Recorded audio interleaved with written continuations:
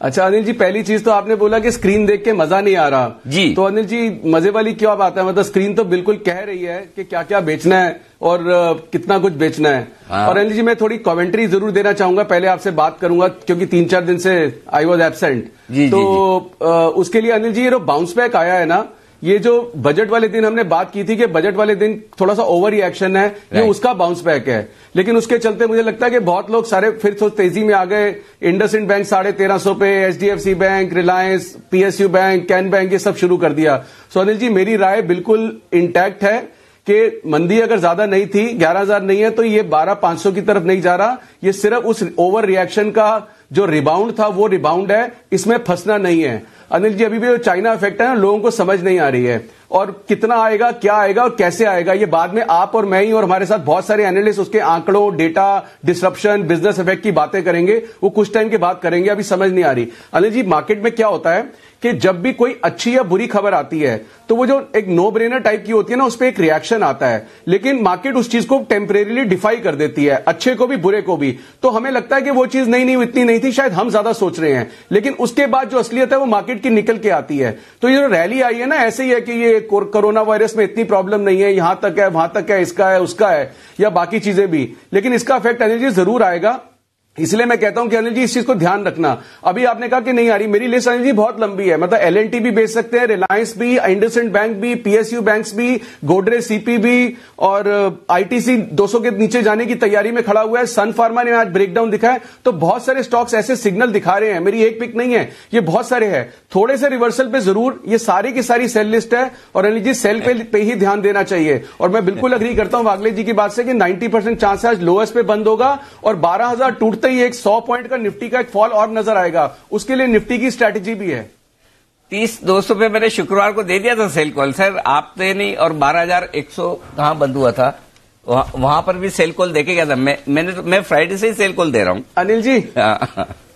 आपके साथ ही हूँ। Hundred percent Anil ji I totally agree बिल्कुल Anil ji I totally agree totally appreciate और आपको मैं हेड्स ऑफ़ कहता हूँ कि आपने पिछले दो दिनों में मैंने देखा कि आप सेल कॉल दे रहे थे और लेना नहीं था। अनिल जी, बहुत सारे ना कहावते, मुहावरे डिस्कस हुए हैं, लेकिन हमने ना, सबके पास हमारी हिंदी की किताब होती थी, जो हिंदी हम सबने पढ़ी है पूरे इंडिया में आठवीं तक। तो उसमें ना एक मुहावरा पढ़ते थे हम कि सावन के अंधे को सब हरा ही नज़र आता है। सोने जी मेरा बाकी व्यूअर सबसे है कि हरा हरा इतना ना देखें और हरे हरे से बच के रहें क्योंकि इसमें डैमेज ज़्यादा हो जाएगा। पैसे प्रोटेक्ट करना बहुत ज़रूरी है। तो ये बारह एक सौ दो सौ फिर ऐसा लेवल आ गया चीज़ है risk reward is not favourable और इसमें नहीं एक चीज़ है। एक रंग में मज़ा नहीं है। कलर तो दोनों ही चाहिए लाल भी चाहिए हरा भी चाहिए तब तो ज़िंदगी का मज़ा है। खाली लाल ही लाल तो क्या लाल? खाली हरा ही हरा तो क्या हरा? राइट बिल्कुल चाहिए। दोनों हो तब तो मज़ा है। नहीं नहीं I I agree Anil ji I agree बिल्कुल। तो चलिए मैं आपके पहले ना निफ्टी की स्ट्रेटेजी से शुरुआत करता हूँ। लाल होगा तो ही हरा होगा तो दोनों तो चाहिए। ये तो पहले निफ्टी की स्ट्रेटेजी से शुरुआत करते हैं सर।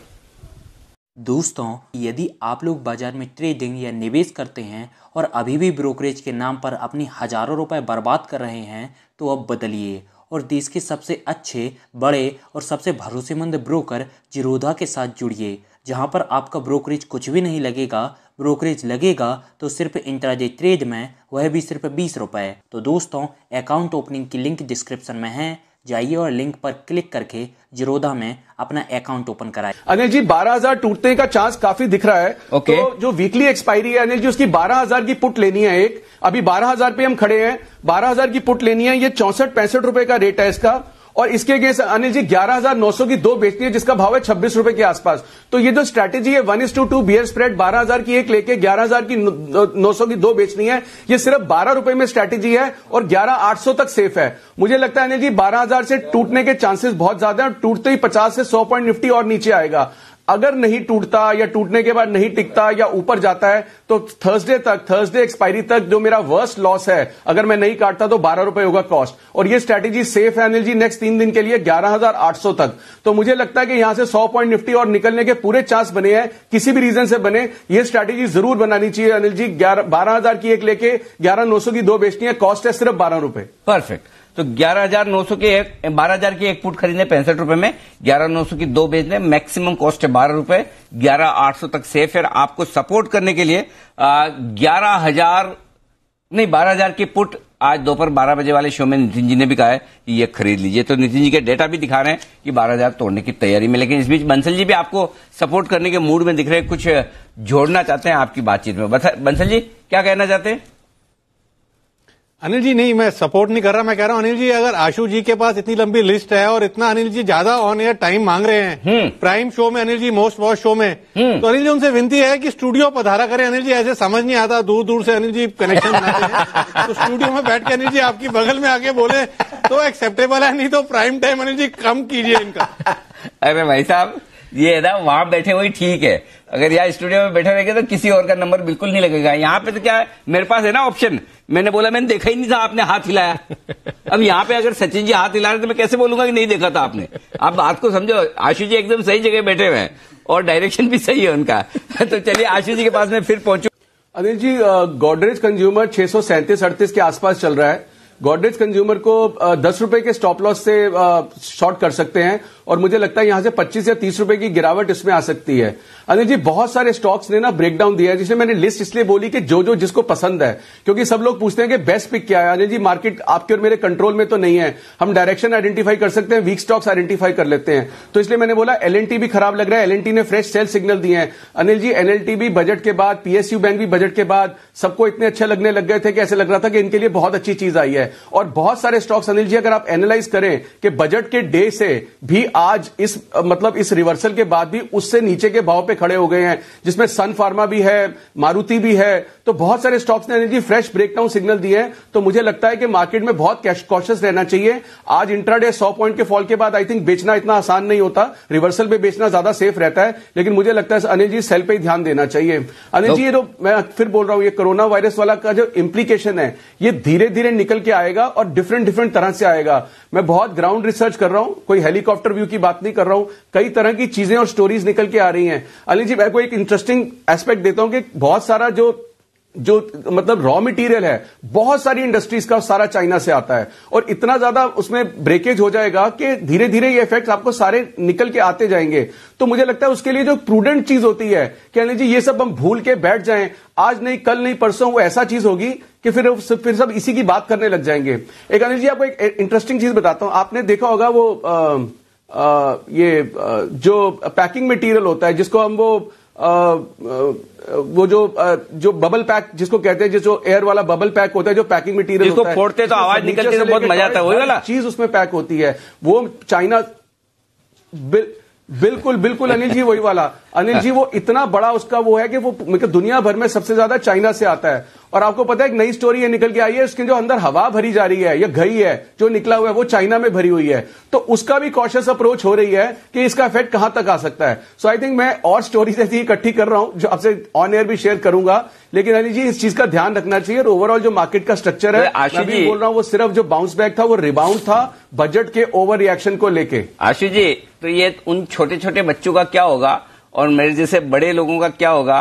जो अमेजोन फ्लिपकार्ट से ये सब सामान मंगाते हैं फिर उसमें वो बबल वाले आते हैं उनको बैठ के घंटों घंटों एक एक को फोड़ते रहते हैं आवाज़ आती कितना अच्छा लगता है। लगता नहीं लगता सचिन जी? सचिन जी? आपने नहीं किया कभी ज़िंदगी में? मेरे, मेरे बेटे को काफ़ी आदत है। अनिल जी? हाँ। अनिल जी?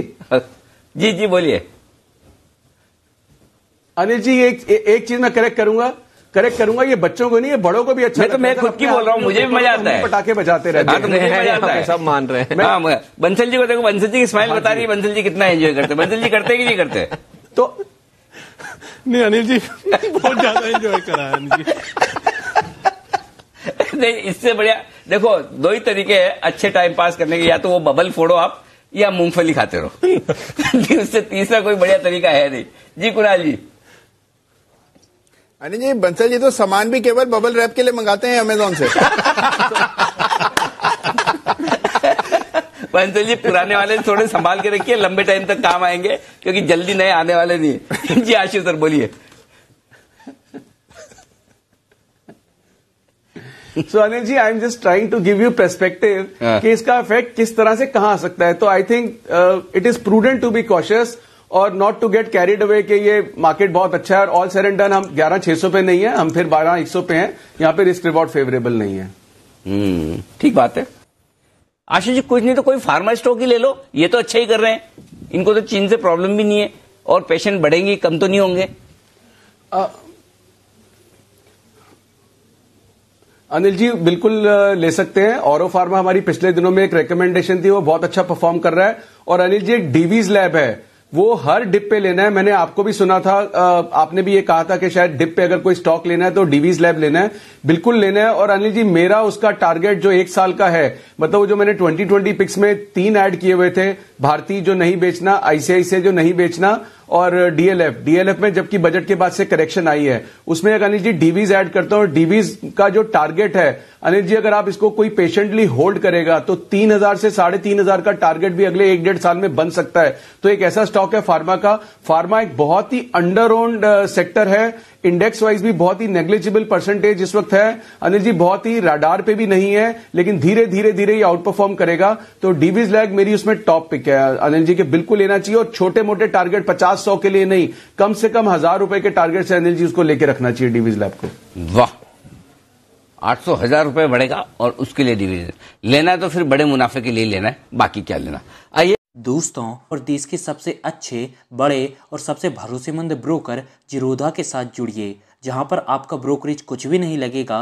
ब्रोकरेज लगेगा तो सिर्फ़ इंट्राडे ट्रेड में वह भी सिर्फ़ बीस रुपए। और दोस्तों, साथ ही आपको बता दूँ कि यहाँ पर अकाउंट ओपन कराने के लिए आपको अपना पी ओ ए, यानी कि पावर ऑफ़ एटोनी देने की कोई आवश्यकता नहीं है, जिसका उपयोग करके हाल ही में देश के एक बड़े ब्रोकर ने 2000 करोड़ का घोटाला किया। तो दोस्तों अकाउंट ओपनिंग की लिंक डिस्क्रिप्शन में है। जाइए और लिंक पर क्लिक करके जिरोदा में अपना अकाउंट ओपन कराइए।